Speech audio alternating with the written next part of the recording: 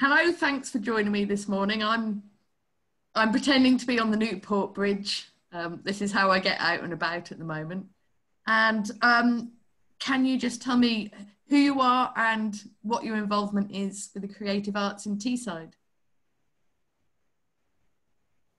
Absolutely. Well, I'm Mary Lou Springstead, and I'm a painter. And um, I have friends in Teesside. I exhibit a little bit. So, um, sorry. Break, you're breaking up a little bit there. So, um, what what kind of paintings do you do? What's your subject? Kind of a little bit unstable. Sorry, you're breaking up a little bit. So, I know. Hopefully, it'll it'll reconnect and you can hear me. Well, um, I mainly use acrylic paint. Um, I'd say my influences are expressionism and surrealism and lowbrow art, feminist art. So I kind of explore a wide range of, of subject matter. Um, when I first moved to the area, I was walking around a lot with my partner and I took a lot of photos. So many of the paintings were of places that I saw, and then I would incorporate the, this robot character. And so, uh, but lately I've been working on culture wars. Fantastic. Well, it's it's an important uh, important place to be right now, isn't it? But let me, let me can, can I just you, you got a little robot figure? Is that what you said? Yes. So, so intrigued to hear more about that. Well, um, I came to Teesside, to Middlesbrough in 2010, and I went to university at Teesside University. And uh, for my final project, got my master's in future design. I did a series of paintings with this little robot character. It's a character that I've been using for quite a few years, but um, people started to refer to me as a robot lady and I still will use it today. I make robot bookmarks and things like that. Kind of is a bit symbolic, you know, of being maybe out of place character. I use like vintage robots. They're not like high tech, like AI or anything like that. But um, for years, the robot was featured. Not as much now because I'm an artist, I like to change and do different things, you know. Absolutely, absolutely. Well, that, that's covered. Um, so, you, were you were you an artist for a long time before you got some formal training? Did you did you discover art for yourself? Did it something that you did as a kid? Absolutely. In particular, when I was like 16 or 17, I really thought, oh, I, this is what I want to do. I think it was because, um, you know, all the psychological turmoil. It was like a great way to kind of deal with that. I didn't really know like how I would make a living off of it, but I did go on to uni and, and study, getting a bachelor's, what they used to call studio art, you know, back in the early 90s. Yeah, interesting because I've, you know, pretty much similar path. I've always been engaged with the creative arts, but it was only um, years ago now, seven, eight years ago, that I, I went and got some formal qualifications again at Teesside University. Um, so, uh, yeah, I, I, was interested to know how, how, much I didn't know. That was that was good, and and how many different approaches to creativity they are there are. So, um, it, it, has been a massive help to me as well. Um, and um, do you you uh, mainly paint on your own? Do you do any collaborative work with other local artists or printers or anything like that? I mainly paint on my own. Uh, occasionally, I'll do some illustration work. Um, I'm my internet connection is unstable. Hopefully, this will get through. Uh, um, I'm quite um, involved in the writing circle authors here in Middlesbrough and Teesside area. So sometimes I'll illustrate like a poetry chapbook I did for for Joe Colley. So once in a while, if it if it's right, because I wouldn't say I'm necessarily an illustrator. I find it very challenging. But if the subject matter, you know, resonates with me, then then I'll do it. And then of course, anytime you have an exhibition, I mean, you're always working with people. But I do prefer to work alone in the studio when I'm trying to to paint. I don't really like working in a group of people with like let's give each other feedback. You know, no, I, I that can happen afterwards. You know. yeah, yeah, I get I'm an that. introvert.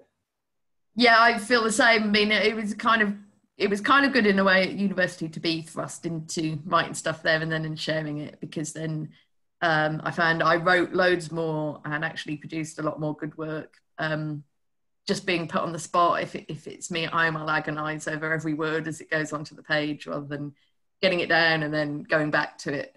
Um, but yeah, I can't have anyone looking over my shoulder while I'm creating.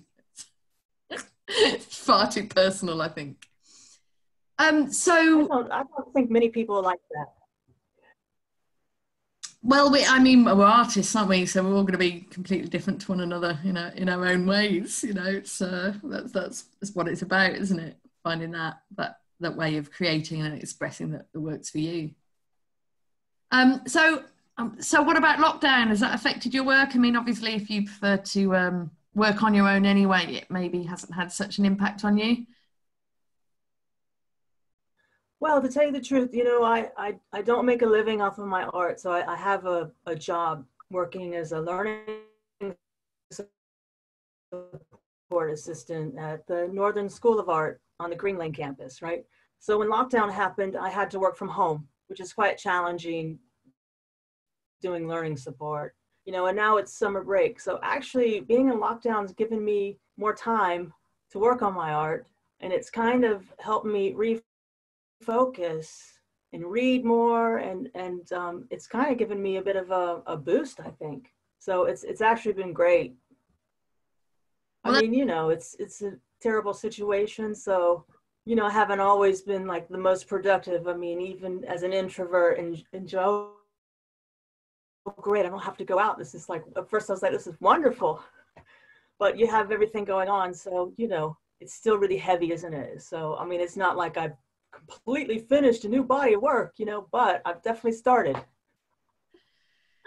It's been amazing to see the the different reactions that people have had. I mean, me personally, I've I've absolutely I've found it really um, uh, fulfilling time um, just to be able to take that time out. My my mate, I also I've always had a, a proper job, um, but that's completely dried up. So I've had kind of you know four months of um, preparing to do this and focusing on on you know my obsession with the cultural ascendancy of Teesside. You know, that's all I'm really interested in. So I've, I've, it's just been great to be able to focus myself entirely on that.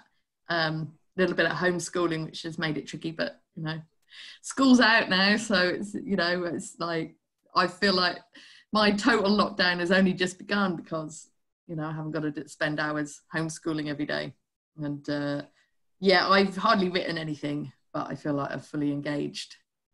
Um, so I know some people have been in, in desperate places. I think it's harder for poets more than artists and writers that, you know, I think poetry kind of needs that instant audience, that personal presence, that instant feedback um, more than perhaps any other art form. Um, so yeah, I do feel feel bad for the poets um, but I think the yeah, we, writers. We had um, a friend who's a musician, and he was having a very tough time writing anything, you know. But as a painter, it's been okay. yeah, brilliant. Well, it's been great to talk to you. To I do want to say about you as well. I just want to say about Teesside because I was a bit like awkward in the beginning. That you know, I moved here from Florida, and just real quick, um, I find this area filled with writers, artists, poets, you know, much more than where I came from in the panhandle of Florida. And there's a real creative energy here. And um, I'm enjoying, you know, it's really made my art progress even further. So just want to give a little plug out to Teesside. Absolutely fantastic. I was just when I was just interviewing Bob before this, saying exactly the same. Spent 25 years involved in the creative arts in London, and I loved it. You know, completely inspired. First music, and then um, theatre and poetry. Um, you know, and then just kind of mix up with cabaret. And I just, I just always been so excited about everything I've seen on Teesside. It's, it's got something. It's got a certain atmosphere that I've not sensed in other places and perhaps it's because it's been so entirely overlooked um, for so long. Uh, but it's all been bubbling away there. You know, people have been doing these things. It's just, uh, I think we're starting to become conscious of everything that has already been achieved and the potential we have going forwards. Teesside. yeah. Have you got anything else that you'd like to say before we leave it? Have I what? Sorry. Uh, no, I just wondered if you, because that, that's probably a great place to end. But I just wondered if there's anything that you wanted to say about your work before before you go. I think I think we've covered all the questions. Covered it. Brilliant. You know, it's just something that I'm not going to stop doing, making art. So it's a life work, isn't it? You see, you know, I'm I'm in for the long journey. Brilliant. I'm I'm right there with you. I have to say.